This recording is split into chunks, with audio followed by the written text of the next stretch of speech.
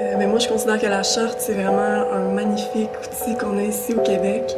Euh, c'est quelque chose qui nous démarque aussi en tant que société à travers le monde, considérant que nous, on valorise vraiment les droits humains. Euh, collectivement, je crois qu'on a compris qu'il y avait des problématiques et c'est pour ça que ce type de charte-là est vraiment utile, parce qu'elle nous permet d'avoir la légitimité de dénoncer les problématiques et ensuite de devenir un leader aussi pour le reste du monde. Donc, par exemple, moi qui m'implique dans la cause des femmes, ce qui est vraiment intéressant, c'est qu'on sait que peu importe ce qu'on fait ici, c'est comme si on lançait un galet dans l'océan et que les répercussions vont se sentir aussi dans d'autres pays qui nous observe en tant que leader.